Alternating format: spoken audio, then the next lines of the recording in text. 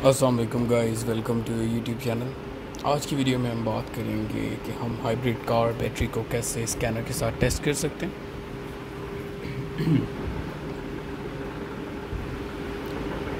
सबसे पहले हमने कनेक्टर लगाया, इसकी लाइट ऑन हो गई। है मीटर में जैसे कि आप देख सकते हैं कि इसकी हाइब्रिड की लाइट ऑन है इंजन लाइट ऑन है स्किट लाइट ऑन है। हमने इसको स्कैनर लगाना है टोइटा में रीड होगा। हमारा ब्लूटूथ कनेक्ट हो गया।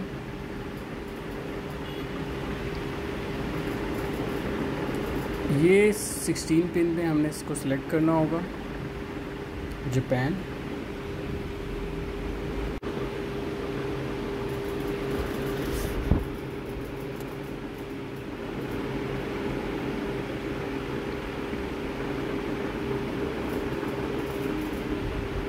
हमने अब एक्वा को रीड करना है। 2011 मॉडल है। उसके मॉडल को सिलेक्ट करेंगे।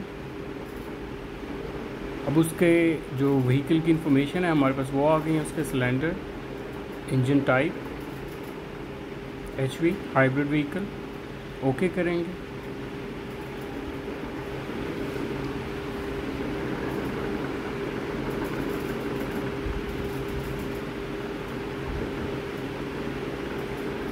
हम इसकी हेल्थ रिपोर्ट चेक करेंगे। इसमें जितने भी सेंसर्स हैं, उन तमाम की रीडिंग्स हमारे पास आ जाएँगी कि अगर किसी और सेंसर में फॉल्ट है।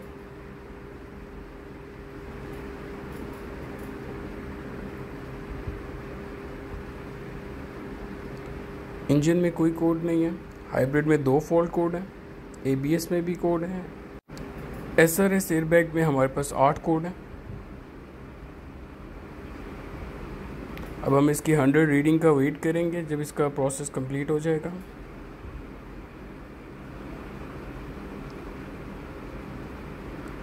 इसमें मेन जो इशू है व्हीकल में, वो इसकी हाइब्रिड बैटरी का इशू है। और ये बैटरी ऑलरेडी रिपेयर्ड है। हमने अब ये चेक करना है कि अब इसमें क्या मसला है और इसका कौन सा सेल वीक है।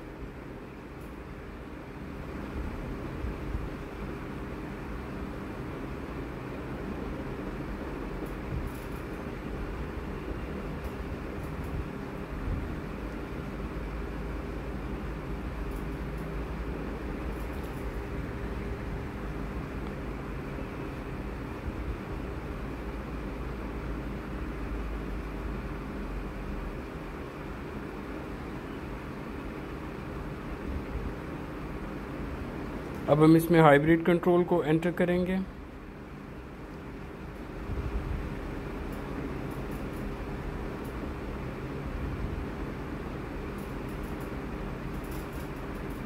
Read fault cold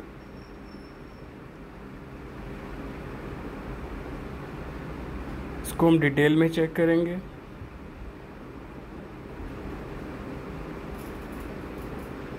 freeze frame को। फ्रीज स्ट्रीम को रीड करेंगे।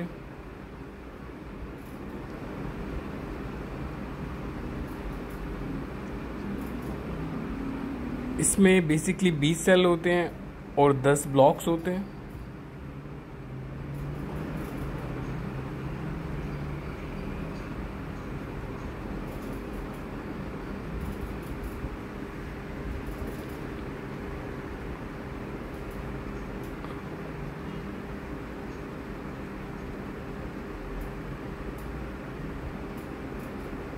ये ब्लॉक नंबर वन आ गया नीचे।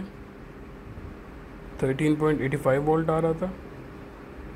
ये चार नंबर जो ब्लॉक है, ये सबसे ज़्यादा वीक है। 11.50 वोल्ट रेटिंग आ रही है इसकी।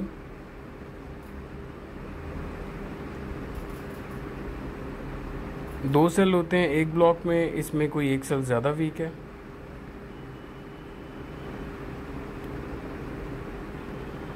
और इसकी जो नॉर्मल वैल्यू है सेल की बारह से प्लस होनी चाहिए, बारह से ऊपर होनी चाहिए। इसमें जो चार नंबर ब्लॉक है इशू सारा उसका है। और अप्रॉक्सीमेटली अगर हेल्दी बैटरी है तो 12.50 तक उसका होना चाहिए। अब हमने इसका एक डिटेल कोड देखना है। वो देखना बहुत ज़रूरी है।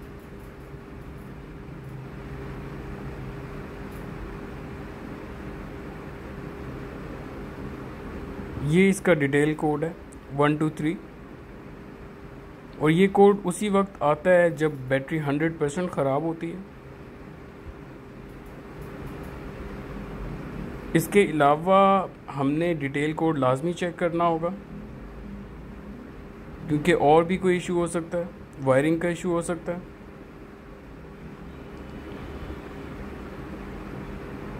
वन टू थ्री कोड का यही मतलब है कि आपकी बैटरी का इशू है। और ज़्यादा इशू जो इसमें आ रहा है बैटरी का कि टम्परेचर की वजह से।